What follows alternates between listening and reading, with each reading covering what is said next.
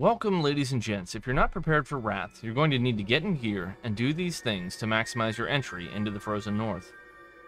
First, you're going to want to get yourself a quest log full of completed quests. If you have remaining group quests out there to still do yet, I would suggest targeting those first for the most XP gains for each quest in your quest log. This is more or less an easy task to accomplish and get a quick jump into 7071 right away with the least post-launch effort, simply run around, turning in your entire log full of quests. Boom, you've got yourself some very easy XP right out of the gate, kind of slingshotting forward, making those big gains. The next thing I'd suggest you do is take time and evaluate your current in-game professions and their use going into Wrath of the Lich King. If you're changing professions to something that's not inscription, you can take and get the groundwork for that underway with the idle time before the big leveling grind to 80 takes place. Now, if you're in a situation much like myself, I'm planning on playing a Death Knight in Wrath, so I haven't been able to work on changing any professions. I have done something I would suggest you guys do, is to find a guide for whichever profession you're looking to take, and gather, farm, stockpile, buy up, do what you gotta, but uh, I would get all the materials ready that you can for that given profession. I fill your bank with, you know, herbs, fill your bank with ores, all that kind of stuff, stone, gems, whatever you need. And that way, as soon as the pre-patch drops on the 26th, you'll be able to have everything you need in order and ready to go. You're simply just going to have to go through your bank, grab all the materials, sit there, make the required number of each things, and boom, boom, boom, your skill's just going to fly through the roof, and you'll be all caught up with everybody else quite quickly. Uh, also, if you have decided you're going to be doing inscription, you can still take the time and stockpile all the herbs and any other uh, currently available materials in-game and have those ready for the pre-patch. So again, they're still just going to be sitting there waiting for you, and as soon as it pops, or drops, excuse me, you can just go ahead and boom, start knocking those out right away. Also on profession note, make sure you have all your first aid training up so that you can jump right into the new tier first aid. And in addition to that, um, you will be able to train all of your first aid needs from the trainer once Wrath is dropped. I'm not 100% sure if this is going to be available in the pre-patch or if this is just going to go live uh, on September 26th when we enter Northrend. Either way, having to work that from, you know, 0, 150, wherever you happen to be at, all the way up to get there before Northrend is going to be a little bit of work, but I suggest getting it done ahead of time, being ready, and you can start making those new bandages right out of the gate and benefit from those immediately. As with any other expansion or re-release of an expansion, Wrath will have plenty of places for you to burn through your hard-earned gold. Well, at least the gold you picked up from running all those GDKPs. First thing you're going to be looking at for each toon you intend to take the level cap is you're going to have an immediate out of the gate 1,000 gold dual spec cost. You can get this as early as level 40.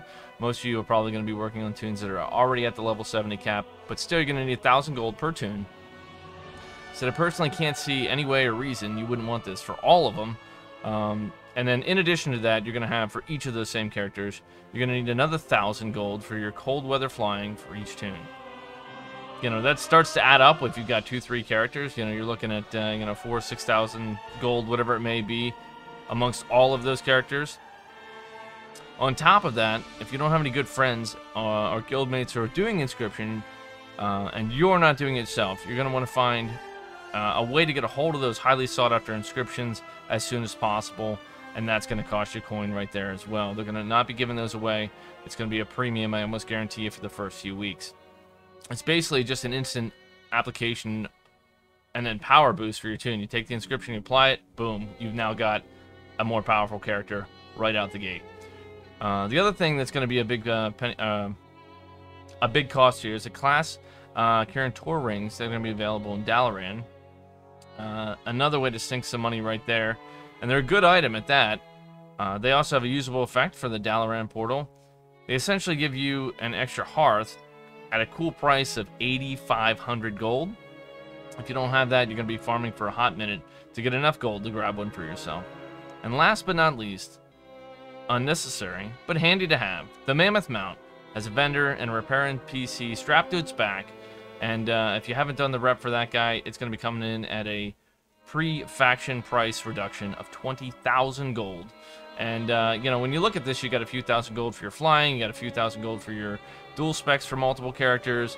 You're looking at your rings at 8,500 per, per toon should you buy more than one. Holy lord, that's going to be a lot of gold. And then the mount, 20,000 gold. So it adds up very, very quickly out the gate. Plus, you're going to be looking to get new enchants. You're going to be looking at all the things you want to do to boost your character's uh, power as you progress through Northrend's content. We all know the pre-patch is right around the corner, and when that drops, we're going to have access to this content for four weeks prior to the release of Northrend. And there'll be lots of fun things going on to do here as well. First things first, I mean, everybody knows, and as I just said, I'm personally going to be playing a Death Knight. Basically, the coolest freaking class with the, uh, you know, the class fantasy, in my opinion. I love all the skills they have. It just looks so sick. They fit exactly what I want them to be. Either way, that aside, uh, they'll become available. And um, you're to be, if you're like me, you're going to be jumping headfirst into leveling, getting all your professions topped out, and gra grabbing onto any easily accessible gear. So you can go into Northrend strong. A single Death Knight will be available to players on any given server without any other requirements, i.e., as previously, you had to have at least a level 55 character to get a Death Knight. This time around, you're able to make one Death Knight, uh, I believe it's per server, without having any other prerequisites or having leveled a toon to 55 in advance. So that's a nice little feature for those of you guys that may be jumping in, joining us, or coming back for Wrath. That's an option. During the pre-patch, uh, players will also be able to collect necrotic runes and acquire gear available during the Scourge Invasion event. Uh, as well, at the same time, the servers will have the Plague event uh, happening where players can become infected with the disease, and after 10 minutes, they will turn into a ghoul and be able to infect NPCs and even other players. Uh, this will turn cities into a brothel of ruin and undead, something I personally look forward to joining in on, well, of course, once I have my leveling, gearing, and professions and everything else ready, but it's still a really cool event, and I think it'll be a lot of fun. Uh, you know, you get the infection down there in Booty Bay, get, getting up on those crates, and and or collecting it or getting it from another player. Remember, you've got that 10-minute window where you can be dispelled, so try to hide so people don't get it taken off of you until you turn. Think of it like The Walking Dead in Azeroth. Hmm. Another highlight uh, for some players is uh, Prince Tenris uh, Mirkblood appears in Karazhan. He's in the guardhouse above the Huntsman. He notably drops the Arcanite Ripper uh, that was used, that has, excuse me, it has an on-use effect. Bust out a face melter, turning into a rock and roll god for a few brief moments. Uh, you can become your own favorite rock legend. This item is going to only be available during the invasion, so if you want to get it, you got to get in there and get it while it's hot.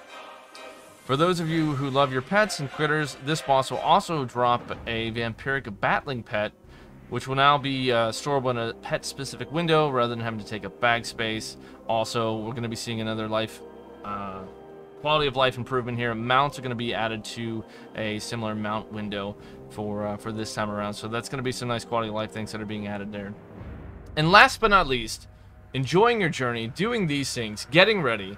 Uh, I would say take the time, find a group, find a guild, line up your like-minded people if you haven't already, and try to lock in a group for leveling, you can plan, you can do your dungeon spams, group together, do your quests together, whatever it is. It always sets out for a great time when you can lock in with a few friends on, you know, a launch day or an evening that comes thereafter and hit the ground running, having fun together. Thank you so much. I hope to see you guys over on Docken underscore TV on Twitch. Till next time, have a good one, and we'll see you.